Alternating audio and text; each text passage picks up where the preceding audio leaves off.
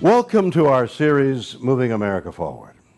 Each week we'll be focusing on America's entrepreneurs as they take us to new roads, new opportunities, new ways to fill the gaps left by today's failing companies. Our series will be looking at that and a lot more. So come with me and watch as the entrepreneurs of our nation move into the future. And I'm Doug Llewellyn here in our studios in Los Angeles with our guests, who are the co founders of a company known as Global Domains International, which is headquartered in Carlsbad, California. To begin, Michael, a short while ago you had a chance to uh, chat and answer a few questions from William Shatner. Let's take a quick look at how that went, just a brief portion of it, okay? Okay. All right, let's roll the tape. I know that you're deeply involved in the technology field, but what are some of your advancements and how is it helpful to move America forward? Well, Mr. Shatner, as we all know, uh, the internet started here in America, and it's obviously become one of the world's most important global resources. Our company was founded in 1999, and although we have thousands of English speaking customers in every country, the global market is still in its infancy, and that's for a very good reason. We're focused on helping the billions of internet users now who are out there who don't use English as their primary language to access websites directly using their own native character sets.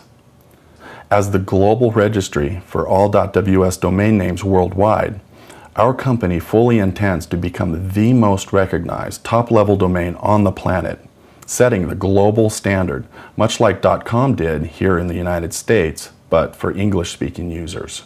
Our company is also unique in that we pay out 50% of all revenue brought to us from our domestic and our global affiliate base worldwide.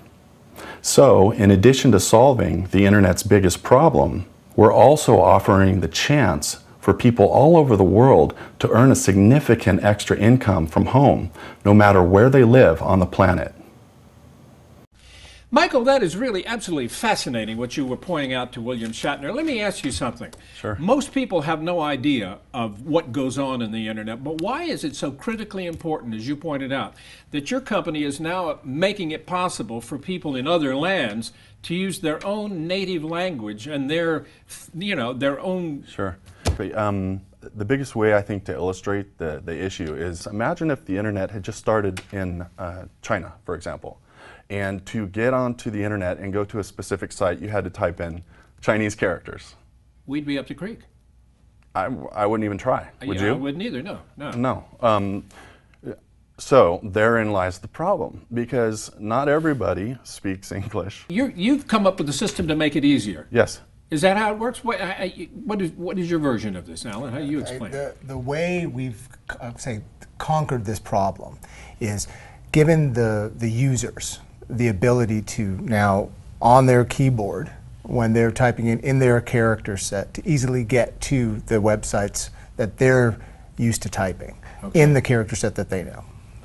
So that, in, in a nutshell, Yeah. is the key. In the same time, you've come up with an, a domain name that is different from what everybody else is kind of fairly familiar with, Right. but that is going to work on a worldwide basis. Right, Even though I guess most of them work on a worldwide basis. They most do. people are familiar with dot .com, you know, dot .net, dot .org.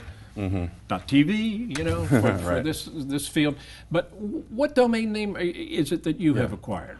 Our company uh, administers the domain name .ws, which stands for uh, website if Right. you have the Latin or English-based alphabet character set, Right. or world site if it's any of the other uh, of the dozens of different native character sets that are used on the planet, uh, which is the vast majority. And as you pointed internet. out, there's a huge advantage to the WS website or world site. Yeah. But what is it?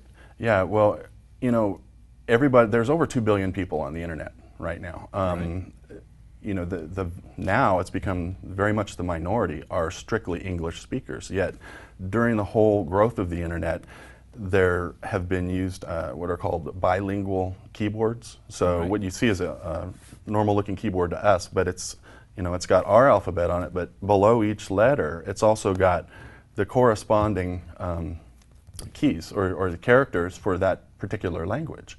So individuals uh, going to sites like a .com, that's all they had in the beginning, Right. or .net or .org, uh, where they're used to typing in uh, in their, uh, you know, our language character set, the ones that were bold enough to do it, Right. um, and typing uh, .com or toggling it. Now, uh, our video on our site explains this very clearly. It's actually a very, very critical thing. But the, the idea is that if you look at the keyboard, .com is just kind of all over the place. and .com. So is. and there's three letters there. Right. .ws is really nice because you just type the dot and then WS right there.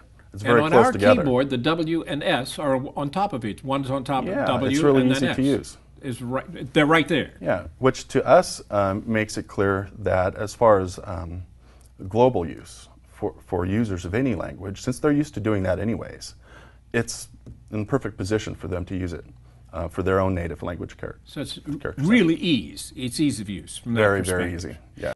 Now, as far as the affiliate program goes, um, Why don't we let Alan explain? that? sure, sure. I, you know, I think the biggest opportunity we give in the affiliate program is that imagining dialing the clock back 20 years now, and if you didn't, you had the opportunity to buy the first .com names. So these mm-hmm. affiliates out there now are saying, okay, I can buy business.ws in that character set that they're familiar with, whether it's in Hindi, Hebrew, Cyrillic, whatever it may be. Right. So not only can they buy that name in that character set, they could promote a program in their country with their character set to, for other people to do the same thing.